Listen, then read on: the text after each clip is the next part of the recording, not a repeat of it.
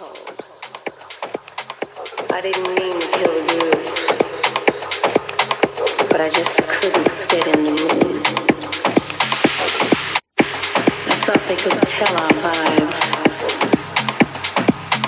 just didn't seem the gel. They suffocated my.